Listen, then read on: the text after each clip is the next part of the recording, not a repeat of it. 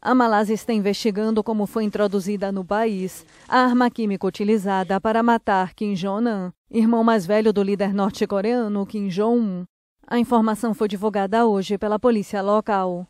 Kim Jong-un foi assassinado com uma potente substância conhecida como agente nervoso VX.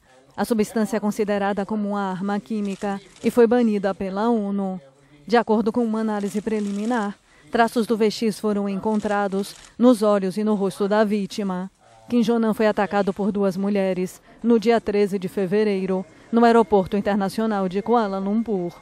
Elas borrifaram um produto em seu rosto e ele morreu quando era transferido ao hospital. A polícia malaia prendeu as duas mulheres, uma vietnamita e uma indonésia, e um químico norte-coreano e emitiu mandatos de prisão contra outros quatro norte-coreanos que também estariam envolvidos no crime.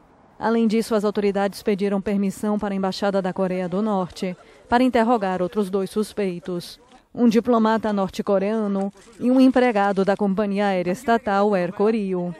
Desde o anúncio do crime, o governo da Coreia do Sul tem insistido que Kim Jong-un foi assassinado pelo regime norte-coreano.